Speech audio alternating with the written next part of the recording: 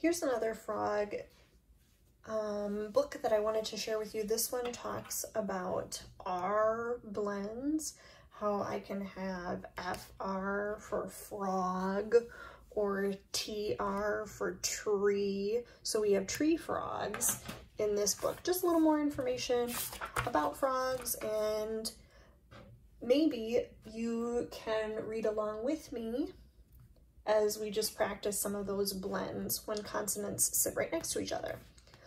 In the story or in this book, anytime there are bold words, that's going to show that there is an R blend in the word, like FR or CR or TR. Here we go. It starts with the word some.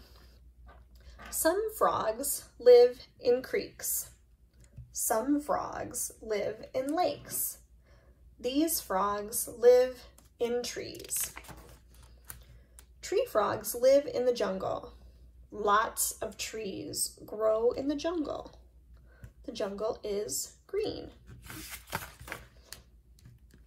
How do these frogs live in the trees? Tree frogs have sticky feet. Their feet stick to the trees. Tree frogs glide from tree to tree. There are lots of tree frogs in the jungle. Some tree frogs are green, but some tree frogs are red or yellow or blue. The jungle is wet. Drip, drip, drop. Frogs do not drink the water drips through their skin. The jungle is loud. Croak, croak, croak. Each kind of tree frog has a special croak. Tree frogs listen for their same kind of croak. Look at the bugs.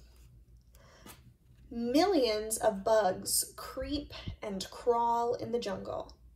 Tree frogs eat bugs. Crunch, crunch, crunch. Yum.